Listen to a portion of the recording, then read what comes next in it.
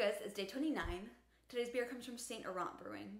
St. Errant is a very, very small brewery in Chicago. They do not have a tap room, uh, but you can get their beer at most major beer stores. Uh, for sure. Also places like Bitter Pops, Beermiscuous, Beer on the Wall, the kind of like big bottle shops. And you can also usually find their beer on tap at Green Lady in Lakeview, as well as a few other bars. It just takes a little bit of more work to find their beer sometimes. Uh, the beer I chose from them for today is called How Dull to Pause.